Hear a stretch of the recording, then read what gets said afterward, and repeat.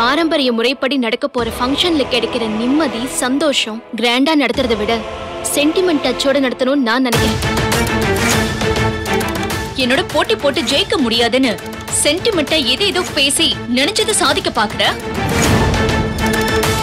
இந்த invitation proof பார்த்தது யாரு